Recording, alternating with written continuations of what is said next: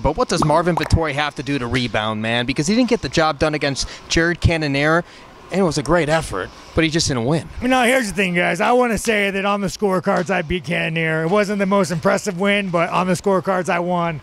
I had a couple announcers come up to me after telling me I won. Still a little salty about that.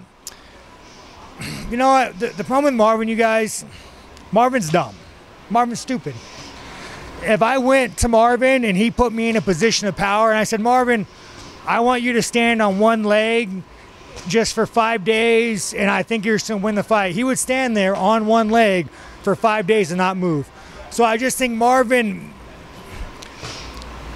he needs a, he needs to find a better short bus driver.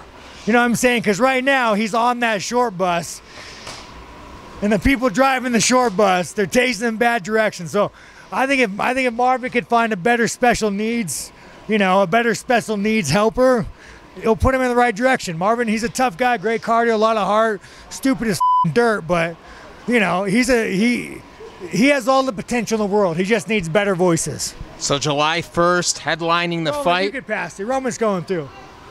And Hey. speaking of uh, Marvin, Roman, faced Marvin Roman, too. Roman delete face here, you Yeah. guys. What do you think? Who won that fight? I, both my friends. I stay out of it.